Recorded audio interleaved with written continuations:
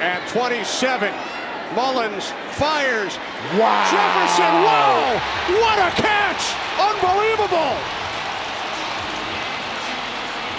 I've been calling him the best wide receiver in the NFL. Goes up over two defenders. Kenny, they are doubling him. The only person that can make a play for the Vikings is Justin Jefferson. Nick Mullens throws it his way, and he comes down with the 50 50 ball.